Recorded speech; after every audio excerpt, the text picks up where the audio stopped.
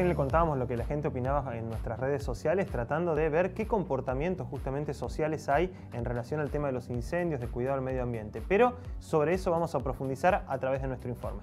Sí, justamente lo habíamos adelantado. Vamos a ver la otra cara, la cara de los bomberos, los bomberos voluntarios que hacen su trabajo desinteresado y ad. Y por eso queremos conocer en esta primera parte cómo es su formación, también cómo es la carrera bomberil y cómo se iniciaron en este mundo de los bomberos voluntarios. ¿Vamos a ver la primera parte? Primera parte del informe en UNLAR TV.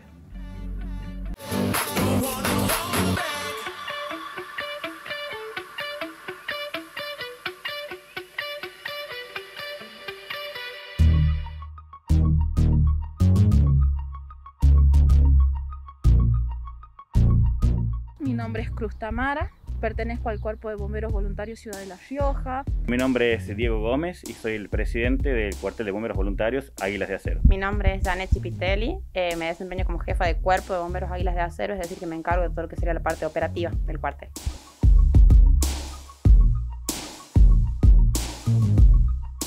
Nuestra institución fue fundada, fue formada en el año 2012 como respuesta a la demanda en el crecimiento poblacional eh, en superficie. En ese entonces había un solo cuartel de bomberos, bomberos voluntarios y no daba abasto a las demandas en intervenciones, tanto en incendio como rescate, que son los siniestros en los que primero actuamos nosotros. Somos parte de una de las de una institución sin fines de lucro que dedica su día a día al manejo de emergencias de diferente índole. El cuartel lleva 13 años operativos. El cuartel comienza a realizar actividades en emergencia a nivel ciudad.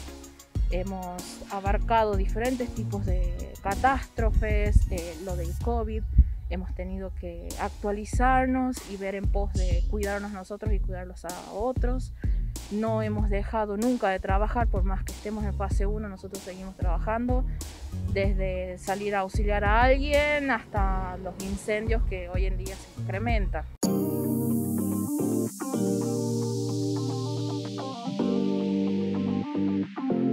Hay que considerar que el cuartel de bomberos es voluntario porque uno decide eh, formar parte de la institución, pero también es ad honor, porque ninguno cobra por el servicio que presta. En la actualidad eh, está formado por 20 personas, 20 personas, 15, 16, 15 y 16 personas son el cuerpo activo que se le llama, y son bomberos que cumplen el rol de bomberos y salen a todas las intervenciones. Nuestro cuartel está abierto a las 24 horas todo el año. Y el resto de los chicos están en proceso de formación. ¿Qué quieren decir? Son aspirantes a bomberos, han empezado a principio de año y tienen que formarse durante un año. Se lo instruye en, en nueve especialidades que tiene eh, bomberos voluntarios, por ejemplo, incendios estructurales, eh, forestales y, demás servicios que hacemos nosotros. ¿no?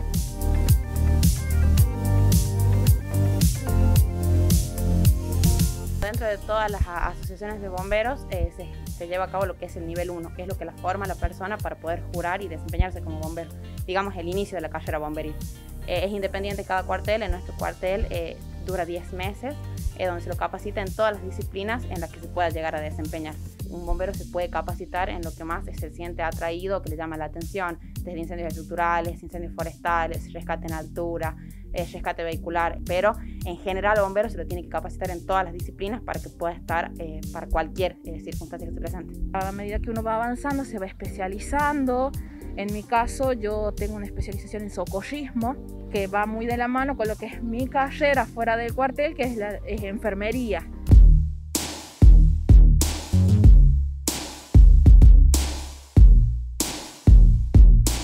Bomberos voluntarios no tiene un techo en el servicio que nosotros estamos, desde rescatando una persona en ruta, en algún vuelco, pasamos a apagar un incendio dentro de una casa o fábrica, una quema de basura no controlada que se convierte en un forestal o bajar un gato de arriba de un alumbrado público. La aptitud que nos exige el Sistema Nacional de Bomberos Voluntarios a donde pertenecemos nos pone siempre a presto y con, con aptitud y actitud para poder desempeñar.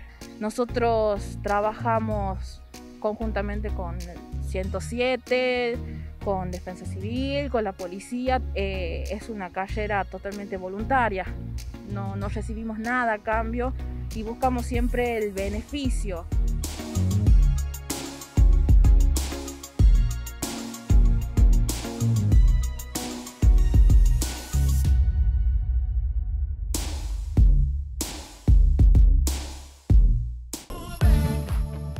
Con Natalia en el corte y cuando veíamos el informe esta cuestión de el compromiso voluntario de alguien que no cobra, sino que además tiene que generar sus propios recursos para poder acceder a el material para trabajar. Exacto, nos contaban incluso que hacen ferias para, para poder mantenerse o comprar material o que tienen sus, otros trabajos, sus otras carreras. Eh, Tamara nos contaba, por ejemplo, que es estudiante de enfermería y además dedica parte de sus horas de todo su día para, para salvar vidas, para ayudarnos como sociedad y por eso también queremos hablar de este tema que ya estuvimos hablando las encuestas, que son los incendios, que ellos nos cuenten cómo prevenirlo y qué hay que tener en cuenta también. Y la importancia especialmente en esta época del año, la época de mayor sequía, en la provincia de La Rioja. Segunda parte del informe, justamente hablando del trabajo de los bomberos voluntarios en contacto estrecho.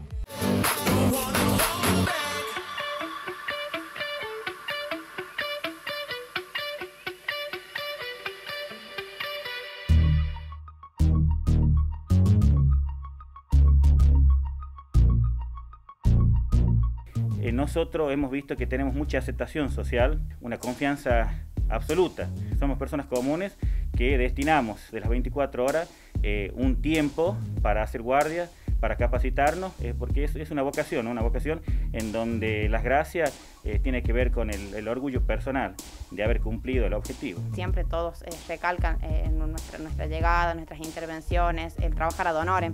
Eh, así que siempre es muy positivo, particularmente desde este año eh, de la parte del gobierno hemos recibido mucho más apoyo que años anteriores.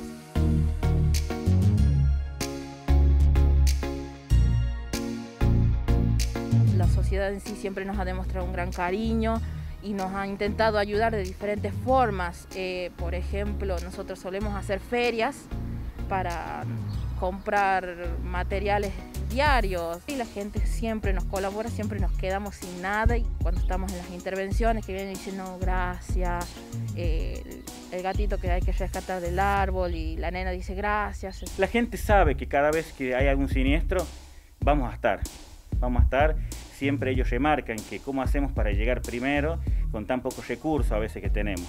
Y simplemente la predisposición es estar atentos. Nuestras capacitaciones sanitarias son con el 107. Tenemos posgrado en emergentología, no firmamos, pero tenemos los mismos conocimientos que ellos y la confianza de ellos.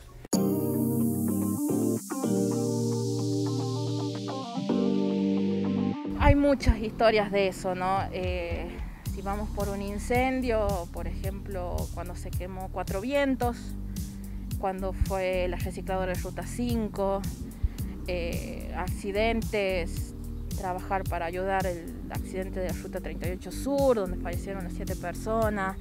Son experiencias que no cualquiera está preparado para trabajar en eso, pero nuestra forma de trabajo es muy unido, somos un equipo, se forma una segunda familia, pasamos la mitad del tiempo acá y la otra mitad en la casa.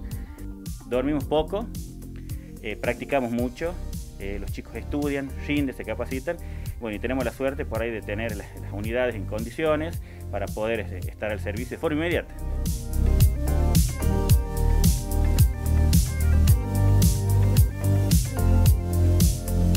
Hoy en día estamos atravesando una situación difícil a nivel incendios en nuestra parte. Eh, estamos en una temporada muy alta, el viento, la temperatura no nos ayudan y se crean grandes incendios. Estamos en riesgo muy alto estamos variando entre riego alto extremo a, a, riegos normales, sí. Está todo seco, hay mucha pastura que tiene entre 40 y 50 centímetros. Ahí, ahí faltan gente y nosotros te movemos casi todo el cuartel. Eh, todo en pos de que no haga viviendas, por ejemplo. Eh, nosotros pedimos que tengan precaución. En esta época no quemen basura, no inicien pequeñas fogatas.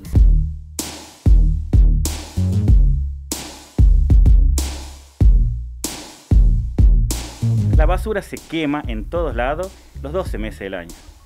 Nada más que en esta época forestal da la casualidad de que al lado de la basura tenemos pastura seca. Y es lo que genera, a partir de ahí, por eso el 90% de los focos forestales es a partir de una quema de basura no controlada. Que no quemen, que no quemen en los baldíos, porque es lo que se utiliza hoy en día, y son los incendios forestales o interfaces que se le llama, en donde la alta temperatura en tiempo prolongado debilitan las estructuras que están ahí, las medianeras de las otras casas o casas precarias que están levantándose.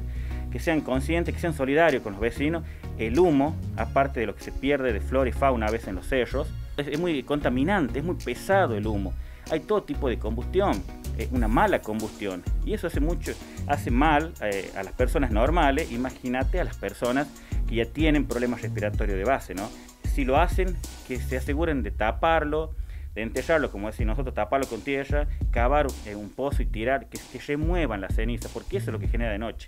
El viento, la brisa, el oxígeno y se vuelve a propagar mientras ellos están durmiendo y nosotros 3, 4 de la mañana tenemos que apagar a veces hectáreas de campo.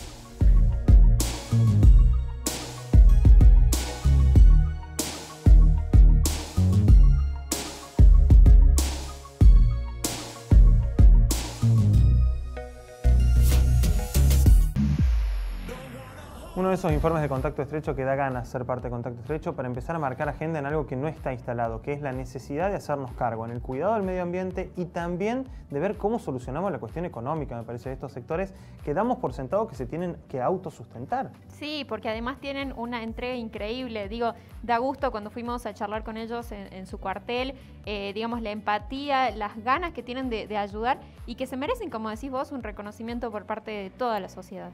Usted tiene que agradecer también. Claro. Déjame agradecer a Nico Urus por su trabajo, también a Renzo que nos acompañó en la grabación y a cada uno de los entrevistados por sumarse. ¿Se queda con nosotros? Sí, nos quedamos hasta el final, me Me parece muy bien, nos falta comenzar con el ciclo de entrevistas a los diferentes candidatos a rector en la Universidad Nacional de La Rioja, el análisis de lo que se viene en las PASO y en el final nada más y nada menos que la chilena.